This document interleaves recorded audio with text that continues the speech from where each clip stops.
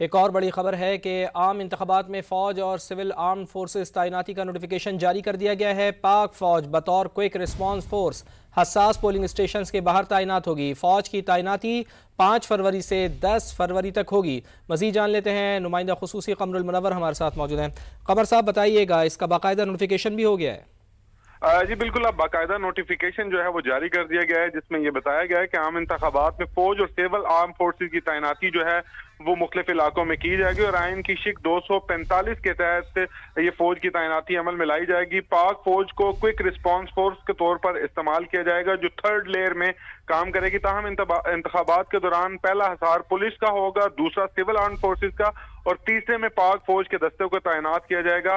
ताहम threat assessment की बुनियाद पर इंतहाई हसास पोलिंग स्टेशन जो हैं इनके बाहर फौज की तैनाती हम वक्त रहेगी और पा, पाक आर्मी और सिविल आर्म फोर्सेज के सामान की के दौरान भी पाक फौज के दस्ते इनके हमरा रहेंगे।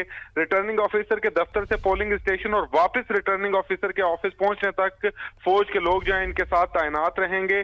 जो फौज होगी, ये क्विक रिस्पांस के फोर्स के तौर पर भी काम करेगी ताहम सिविल आर्म फोर्सेज को प्रिंटिंग कॉरपोरेशन ऑफ़ पाकिस्तान में भी तैनात किया गया है, जबकि civil arm forces Pakistan post foundation में भी तैनात रहेगी और इनको आज से ही तैनात जो है वो कर दिया गया है ताहम इनकी तैनाती 12 फरवरी तक रहेगी। इलेक्शन के बाद 12 फरवरी तक ये फौज की तैनाती जो है वो इसमें रहेगी। ताहम जो इसमें नोटिफिकेशन में वाजे तौर पर कहा गया कि मुतल आर और डिप्टी कमिश्नर जो है वो भी हसास जगहों पर इनकी डिप्लॉयमेंट के लिए लिख सकेंगे और उसके बाद मुतल डिप्टी कमिश्नर जो है वो इनको इनकी तैनाती जो है वो अमल में लाएँगे। बहुत शुक्रिया आपका कमरुल मुनवर जी, बिल्कुल, अब बाकायदा नोटिफिकेशन जो है वो जारी कर दिया गया है, जिसमें ये बताया गया है कि आम इंतबात में फौज और सिविल आर्म फोर्सेज की तैनाती जो है वो मुख्तलिफ़ इलाकों में की जाएगी और आयन की शिक 245 के तहत ये फौज की तैनाती अमल में लाई जाएगी। पाक फौज को क्विक रिस्पांस फोर्स के तौर पर इस्तेमाल किया जाएगा जो थर्ड लेयर में काम करेगी। ताहम इंतबात के दौरान पहला हसार पुलिस का होगा दूसरा सिविल आर्म फोर्सेज का और तीसरे में पाक फौज के दस्ते को तैनात किया जाएगा।